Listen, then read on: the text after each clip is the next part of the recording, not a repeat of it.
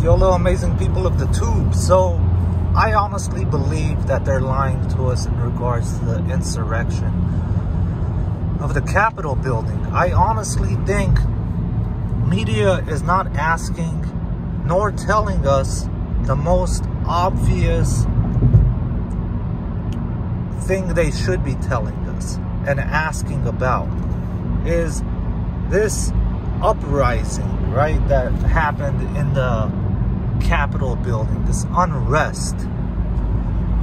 Did any files get taken? Did any files get replaced?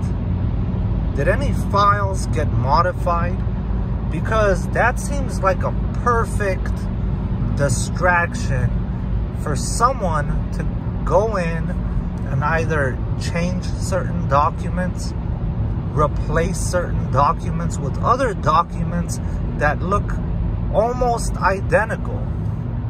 Because when you're talking about legislation, right, when you're talking about law, a few words being changed changes everything. Punctuation changes everything. The fact that there's a comma here instead of a period changes everything.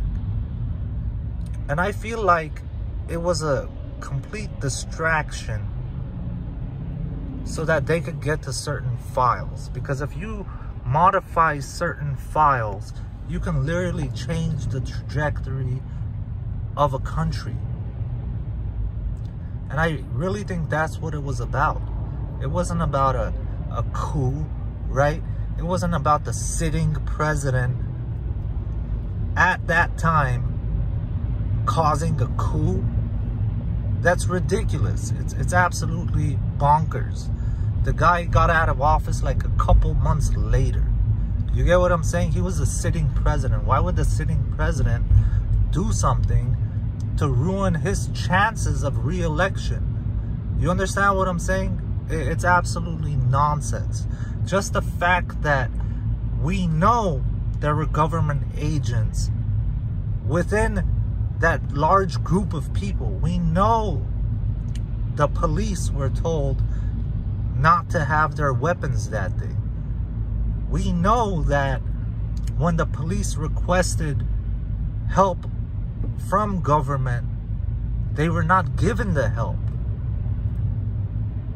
At the very least, they weren't given help in a timely manner to get a hold of the situation.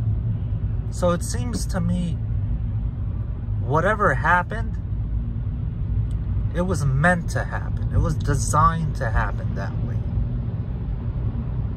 But why is nobody asking the questions, the most important questions? What about the documents? What about the important stuff we have in that building? It's the Capitol building. It's a legislative building, right? They pass laws there. Of course, it's about documents. What else can it be about? I think it's crazy, man. I, I don't know. I, I don't know how people are distracted so easily, right?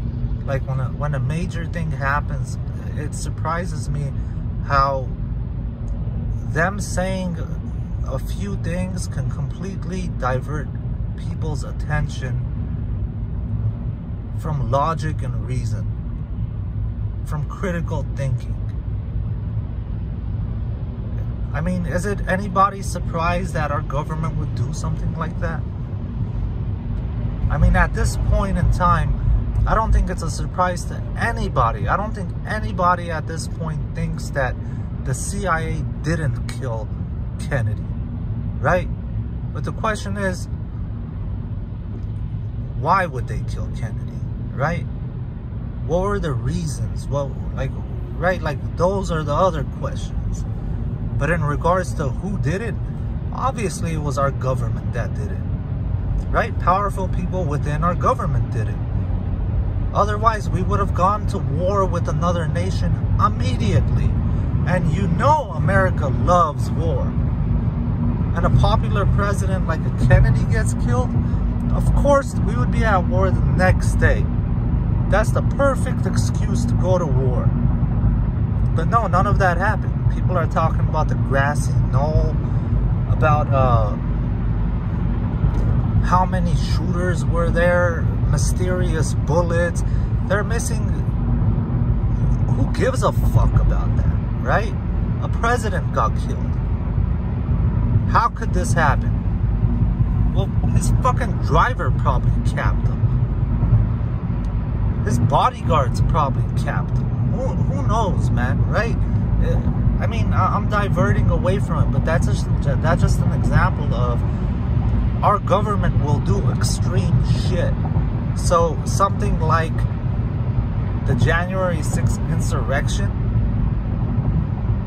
even calling it an insurrection, right? Like, it's not a surprise our government would do such a thing. At least not to a person like me. It's not surprising to me at all. But it's more about why, right? Of course it's about documents. What else can it be about? I don't know. I'd love to hear you guys' thoughts. Solo Yolo Bolo.